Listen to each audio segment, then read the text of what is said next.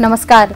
राष्ट्रियताको पहरेदारी जनाधिकारको पक्षमा खबरदारी यो न्युज नेपाल टेलिभिजन अनि समय हो फटाफट न्युजको साथमा छु म सरिता चन्द अब लागौँ फटाफट न्युजतर्फ। गृहमन्त्री रमेश लेखक सुदूरपश्चिमको तीन दिने भ्रमणमा आदिको शान्ति सुशासन र समृद्धिका लागि सत्ता समीकरण बनेको भनाए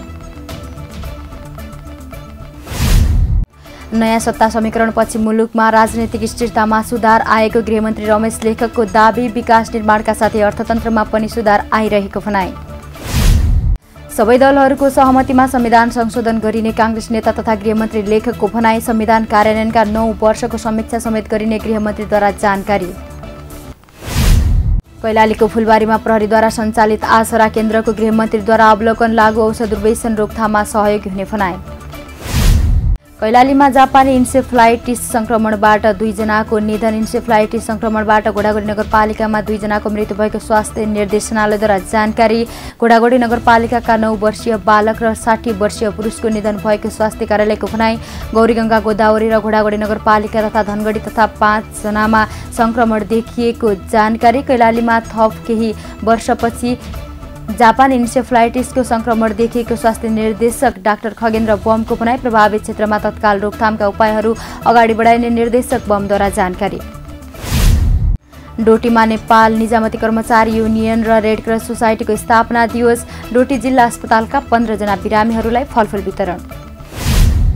सुदूरपश्चिम प्रदेशका तीन पहाडी जिल्लाहरूमा इन्टरनेट सेवा अवरुद्ध डोटी अछाम र बाजुरामा मङ्गलबारदेखि इन्टरनेट सेवा अवरुद्ध भएको सेवाग्राहीहरूद्वारा जानकारी।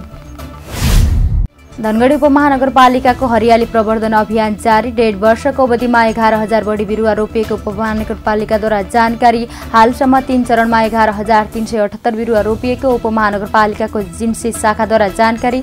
बिरुवा रोप्ने कार्यक्रम जारी रहेको भनाई।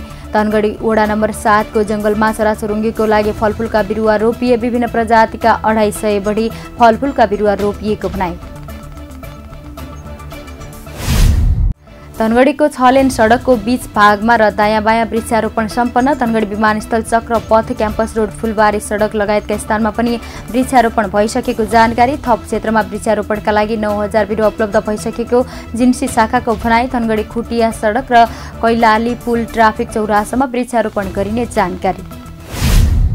बाजुराको स्वामी कार्तिक खापरको स्याउ तराईका बजारहरूमा सात सत्तरी टन स्याउ कर्णाली करिडोर हुँदै सुर्खेत र नेपालगञ्ज टुवानी भएको गाउँपालिकाद्वारा जानकारी जिल्लाकै बुढीनन्दा र जगन्नाथको स्याउ भने पाकेर बारीमै सडक अवरुद्ध भएका कारण टुवानीमा समस्या भएको भनाए कैलालीको धनगढी भजनी र टिकापुरका विभिन्न स्थानबाट करिब छ लाख अवैध सामान बरामद विभिन्न स्थानमा बेवारिसी अवस्थामा सामान बरामद भएको प्रहरीको दावी।